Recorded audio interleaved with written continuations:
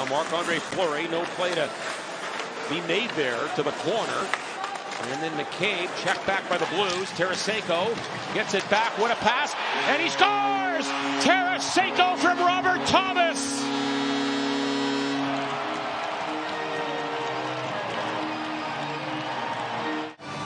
And on the, along the boards, a little backhander was actually picked off by McCabe. But look at the way Buchnevich came in. That play should have been out by Chicago. It's not because of Buchnevich coming in right here on McCabe on the left side of your screen. Now we isolate on Tarasenko. A little give and go. Beautiful between the legs pass by Robert Thomas. What a distributor.